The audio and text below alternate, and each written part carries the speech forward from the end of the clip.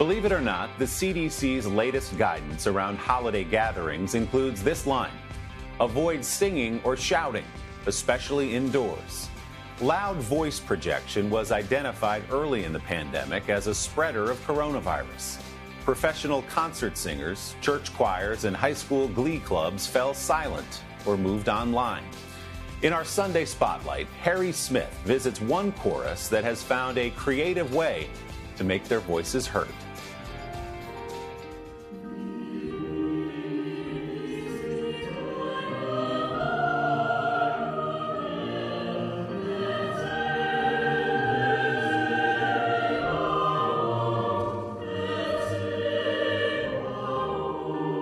A choir practice like this, we're guessing you've never seen before. Boston's Chorus Pro Musica in a parking lot singing Brahms while in their cars and darned happy about it.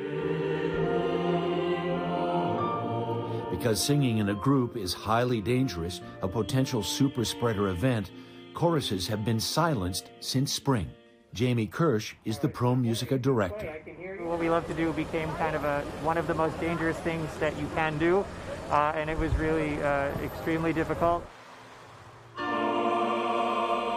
But as victory over the virus relies on science, so too a little technology has provided the pathway to this parking lot performance. We love to make music as a family. We started wanting to bring people to our house. We knew we couldn't bring them inside, but we thought maybe we could have them in their own cars. And Bryce had figured out a way to get us all to be able to hear each other. Sharon? I'm here. Bryce Denny is an engineer, and Catherine is a musical director.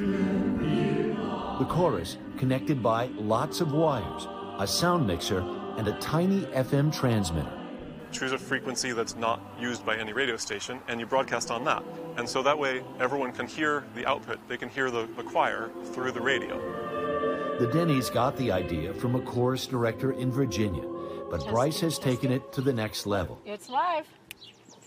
All right.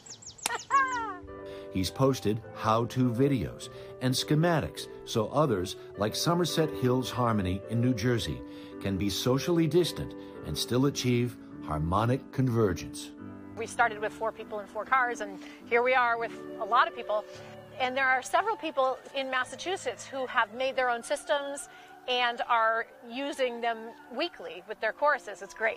Have you gotten goosebumps? Absolutely. Oh, and when I'm conducting a group, I really feel as if I have singers in front of me. You know, you just kind of have to, who's that in the Subaru, you know?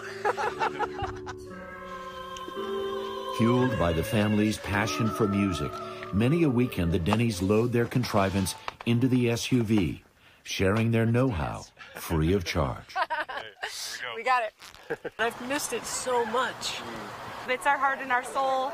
It means a lot. I take so much pleasure from, from sharing it with other people. The music performed that afternoon was the Brahms Requiem, which is less about mourning than it is an anthem to life itself, a reason to sing. Why don't you give yourself a huge round of applause? For Sunday Today, Harry Smith, Newton, Massachusetts.